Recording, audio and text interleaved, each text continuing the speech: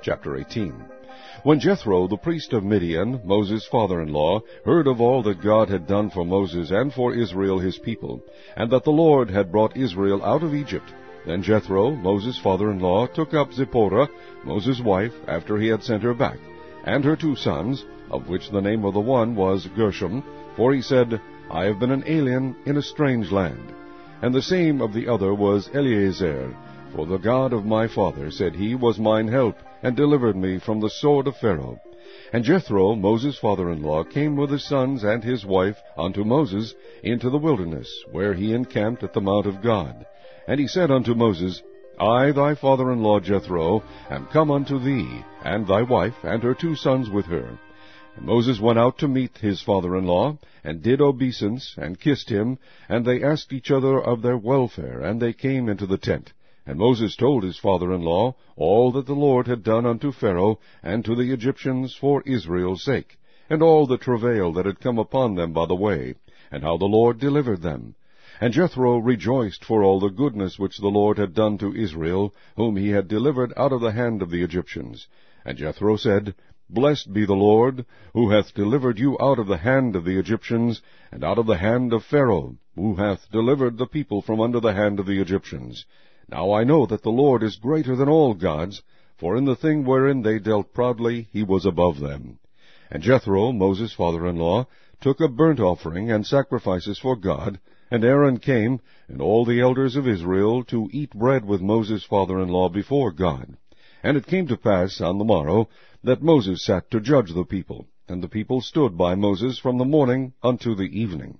And when Moses' father-in-law saw all that he did to the people, he said, what is this thing that thou doest to the people? Why sittest thou thyself alone, and all the people stand by thee from morning unto even? And Moses said unto his father-in-law, Because the people come unto me to inquire of God. When they have a matter, they come unto me, and I judge between one and another, and I do make them know the statutes of God and his laws. And Moses' father-in-law said unto him, The thing that thou doest is not good. Thou wilt surely wear away, both thou and this people that is with thee, for this thing is too heavy for thee. Thou art not able to perform it thyself alone. Hearken now unto my voice. I will give thee counsel, and God shall be with thee. Be thou for the people to Godward, that thou mayest bring the causes unto God. And thou shalt teach them ordinances and laws, and shalt shew them the way wherein they must walk, and the work that they must do. Moreover, thou shalt provide out of all the people able men, such as fear God, men of truth, hating covetousness, and place such over them, to be rulers of thousands, and rulers of hundreds, rulers of fifties, and rulers of tens. And let them judge the people at all seasons.